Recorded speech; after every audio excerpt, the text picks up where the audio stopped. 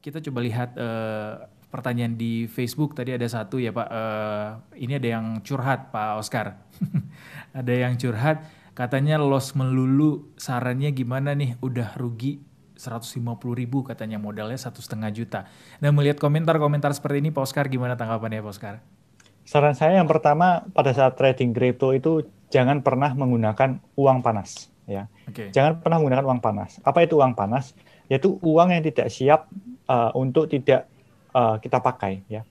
Uh, uang panas uang yang uang yang harus kita pakai ya. Jadi uh, kalau kita trading crypto itu harus dengan uang dingin. Yaitu uang yang kita siap untuk kita simpan dalam jangka panjang. Ya. Nah, biasanya terjadi para trader kripto itu ada beberapa yang mereka pakai uang belanja, yang mereka pakai uang dapur. Ya, padahal trading kripto itu kita bicara momen, hmm. ya. Momen tepat untuk membeli dan momen tepat untuk menjual, ya. Kalau memang belum momennya untuk menjual ya jangan dipaksa jual. Nah, tapi kalau kita bicara uang panas, kadang-kadang uh, kita belum mau jual, ternyata ada kebutuhan dapur yang harus dibayar sekarang gitu. Oke. Okay. Pak, sorry, sorry saya potong. Tadi bagaimana ya. caranya kita bisa mengetahui ini adalah momen yang tepat untuk menjual?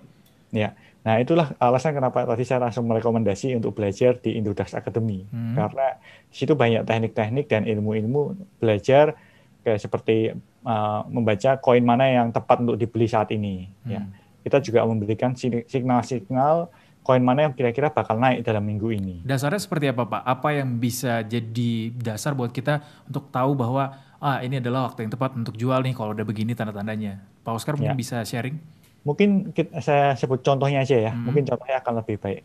Uh, seperti contohnya kalau kita pelajari nanti, uh, di bulan Juli nanti kan ada update teknologi untuk Ethereum. Ya. Okay. Ethereum itu akan mengadakan update untuk uh, pengembangan lebih lanjut untuk blockchainnya Ethereum, hmm. di mana diperkirakan biaya transfer Ethereum setelah implementasi teknologi blockchainnya itu akan menjadi gas fee-nya jauh lebih murah dan teknologi jauh lebih cepat ya sehingga hal itu akan membuat uh, penggunaan daripada Ethereum akan meningkat.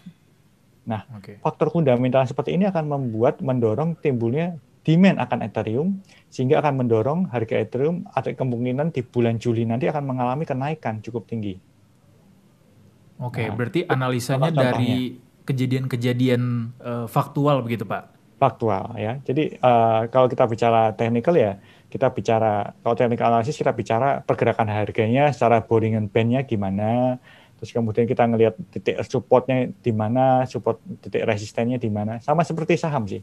Orang-orang yang biasa trading saham biasanya lebih jago jago lagi waktu trading kripto karena mereka bilang kripto jauh lebih sederhana sih